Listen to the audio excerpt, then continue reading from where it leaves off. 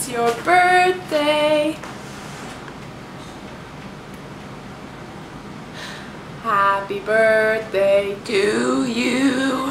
Happy birthday to you. I don't even know how old you are. You're really old. Happy birthday to you.